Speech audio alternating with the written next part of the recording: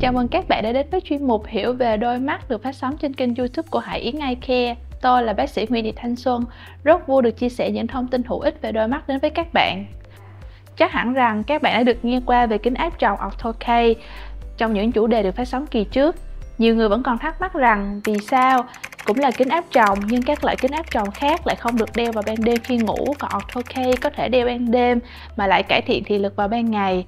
Để cùng trả lời cho câu hỏi này, chúng ta sẽ tìm hiểu thêm về cơ chế hoạt động của Ortho-K cũng như sự khác biệt so với các loại kính áp tròng mềm khác. Kính áp tròng thông thường là kính áp tròng mềm được thiết kế như một thấu kính điều chỉnh tật khúc xạ thông qua việc giúp cho ảnh của vật hội tụ lên trên võng mạc. Do đó, kính nên được đeo khi thức để giúp chúng ta sinh hoạt, học tập và làm việc một cách rõ nét.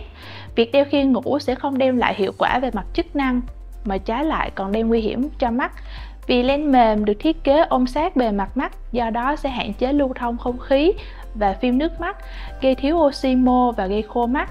Hơn nữa, Việc đeo kính áp tròng khi đi ngủ sẽ làm tích tụ vi khuẩn lên trên bề mặt lens và bám dính lên trên giác mạc gây viêm loét giác mạc. Đối tượng phù hợp để đeo kính áp tròng mềm là các bạn trẻ có độ cận loạn thấp, hoạt động ngoài trời nhiều, không muốn phụ thuộc vào kính gọng. Tuy nhiên, khuyến cáo là chỉ nên đeo dưới 6 đến 8 tiếng một ngày. Trái lại, Ortho-K là một loại kính áp tròng cứng đeo ban đêm khi đi ngủ, giúp chỉnh hình giác mạc tạm thời. Nhờ vậy mà qua ngày hôm sau, các bạn có thể nhìn rõ mà không cần phải mang kính gọng. Ưu điểm của Ortho-K so với các loại kính áp tròng mềm đó chính là vật liệu thấm khí tốt, do đó giúp dinh dưỡng giác mạc. Thiết kế có nhiều đường cong chuyên biệt giúp cho phim nước mắt có thể len lỏi vào và dưỡng ẩm cho mắt.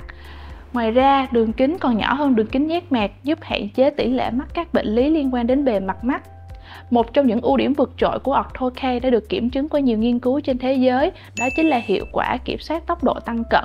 Do đó, đối với các bạn nhỏ, AutoCAD vừa là lựa chọn giúp hỗ trợ hoạt sinh hoạt, hoạt động hàng ngày mà không cần dùng đến kính gọng.